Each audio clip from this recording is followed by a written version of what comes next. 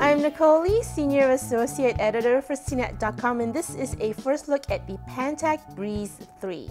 The Breeze 3 is essentially a basic flip phone for AT&T Wireless. On the front is a simple external display that displays the usual date, time, and caller ID information. Underneath the external display are three LED notifications for incoming messages and so forth. On the side here is the volume rocker. On the other side is the micro USB port.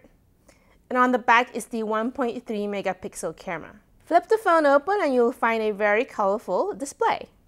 Underneath the display, you do get three quick keys that can be used for speed dial or shortcut keys. You do get the usual navigation array that includes shortcuts to the camera function as well as voice command. The overall keypad, as you can see here, is quite spacious. Each key is quite large and a little bit raised above the surface, so it's easy to text and dial by feel.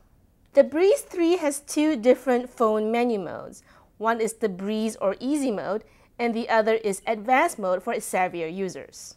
The Breeze mode, as you can see here, is pretty simple. All of the menu options are displayed in a list style form factor. The Advanced mode opens up the phone's full list of functions as well as displaying things in a more grid-like fashion. Additions to the Breeze 3 from the Breeze 2 is that it also has a new pill reminder application. The Breeze 3 is perfect for senior citizens, kids, or just cell phone novices in general.